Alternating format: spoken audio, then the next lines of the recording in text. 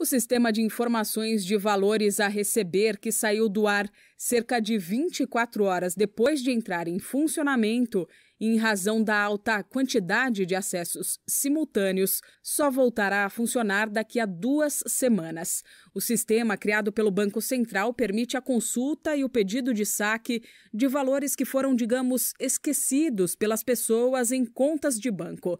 No entanto, a quantidade de acessos foi acima do esperado e o BC precisou suspender as operações para ajustes técnicos. Nas 24 horas em que esteve no ar, 8.500 pessoas conseguiram usar o sistema e solicitar saques no valor total de 900 mil reais. A estimativa da autoridade monetária é que, ao todo, 8 bilhões de reais estejam esquecidos em instituições financeiras. Em nota, o Banco Central informou que o acesso à plataforma voltará a ser permitido no dia 14 de fevereiro. Por três semanas, no entanto, a funcionalidade que fica dentro do site do Banco Central vai permitir apenas consulta aos eventuais valores esquecidos. Os pedidos de transferência, se houver dinheiro, só poderão ser agendados a partir de 7 de março.